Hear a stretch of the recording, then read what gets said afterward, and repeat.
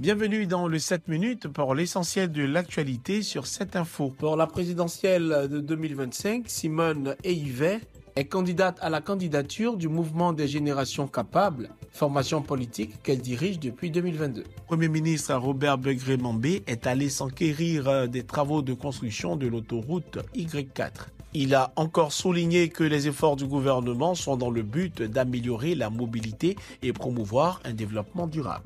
La deuxième édition du Forum des citoyennetés actives a ouvert ses portes à Abidjan, l'objectif étant de créer un espace d'échange afin de proposer des actions concrètes pour renforcer la citoyenneté dans le pays.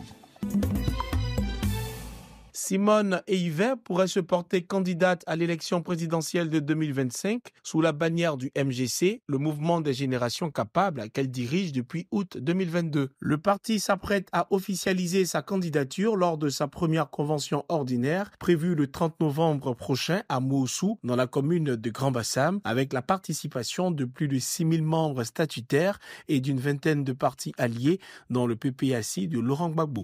Ben, c'est un lieu qu'on a choisi euh, je l'ai indiqué, nous avions initialement choisi des lieux.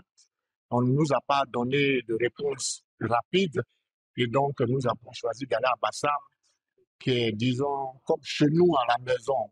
Pour Tapé Kipré, deuxième vice-président du MGC, ce parti est désormais un acteur incontournable sur la scène politique ivoirienne et n'a pas pour ambition de faire de la figuration. C'est pour préparer l'année 2025, la présidentielle. Principalement, c'est pour ça. Et pour ça, nous devons avoir un projet de société que les Ivoiriens puissent écouter. Nous devons avoir un programme de gouvernement qui peut attirer les Ivoiriens. Et c'est tout, cela que nous allons valider à la Convention. Le MGC appelle également la CEI à prolonger l'opération d'enrôlement sur la liste électorale afin de permettre à davantage d'Ivoiriens de s'inscrire. Le 20 novembre 2024, le Premier ministre ivoirien Robert Begré-Mambé visite la deuxième phase des travaux de construction de l'autoroute Y4. Il s'agit d'un projet majeur pour le développement des infrastructures de transport en Côte d'Ivoire. Ce chantier, donc au total de près de 66 milliards de francs CFA, est cofinancé par la Banque mondiale. Une fois achevée, cette autoroute longue de 30 km jouera un rôle stratégique en facilitant le désengorgement du trafic dans la ville d'Abidjan. Elle reliera directement Benjerville à Yamoussoukro, évitant ainsi le passage par le centre-ville de la capitale économique ivoirienne. Le projet s'inscrit dans les efforts du gouvernement dans le but d'améliorer la mobilité et promouvoir un développement urbain durable. Première partie a été euh, réalisée pour permettre que la canne se déroule dans les meilleures conditions. Et là, nous sommes en train de continuer le, chantier. Nous venons de visiter euh, un tronçon qui fait euh, environ 30 km, hein, si on met les deux bouts ensemble. Et ce qu'il faut noter, c'est que ces deux chantiers offrent plus de 500 emplois à des jeunes Ivoiriens. Les propos du Premier ministre mettent en lumière l'engagement du président Alassane Ouattara en faveur du développement du pays. Cette vision d'une nation moderne et dynamique se manifeste à travers divers projets visant à améliorer les infrastructures, l'économie, l'éducation et les conditions de vie des populations.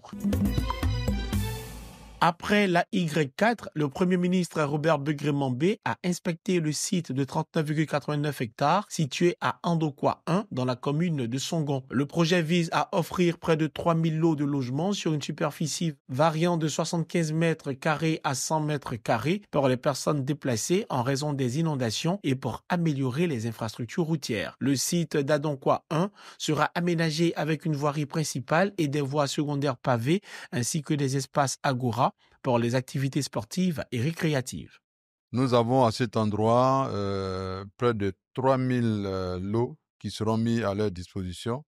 Sur ces sites, l'aménagement sera fait en sorte que la voirie euh, principale sera bitumée, les voiries secondaires et tertiaires, c'est-à-dire deuxième et troisième niveau, seront en pavé ces projets, selon le Premier ministre, marquent un engagement du gouvernement ivoirien pour améliorer les conditions de vie des populations et promouvoir le développement durable sous la présidence d'Alassane Ouattara, président de la République. L'Institut d'Elayam, Fondation pour la citoyenneté active, organise la deuxième édition du Forum des citoyennetés actives. Les échanges se tiennent autour du thème être un citoyen actif pour construire le monde que nous voulons. L'objectif étant de proposer des actions concrètes pour renforcer la citoyenneté en Côte d'Ivoire. Ce même est un appel à chacune et chacun d'entre nous, citoyennes et citoyens, à prendre la place qui nous revient dans la construction de la société dans laquelle nous vivons, en accompagnant par des propositions, mais aussi par l'action, les institutions étatiques dans la conduite des affaires publiques. Pour développer une société harmonieuse et équitable, la citoyenneté doit être placée au cœur des préoccupations des populations. Elle n'est pas qu'un statut, mais une responsabilité active qui engage chacun à contribuer au bien commun. La citoyenneté active, c'est-à-dire la participation volontaire et éclairée à la vie de la communauté à laquelle nous appartenons tous, est essentielle pour construire une société plus juste et plus démocratique. L'interdépendance mondiale croissante auquel nous sommes confrontés aujourd'hui, avec son cortège d'inégalités sociales et la montée des idées populistes et wokistes, nécessite plus que jamais un engagement citoyen pour Adopter une citoyenneté active, c'est également encourager la participation de tous aux décisions qui façonnent l'avenir commun. Cela passe par l'éducation, la sensibilisation et des actions concrètes pour renforcer la solidarité, la justice sociale et le respect des différences. En somme, construire une société où la citoyenneté est pleinement exercée, c'est garantir un développement durable et inclusif pour tous. C'est la fin de ce 7 minutes préparé par l'ensemble de la rédaction. Merci de l'avoir suivi. Restez sur cette info. Les programmes se poursuivent.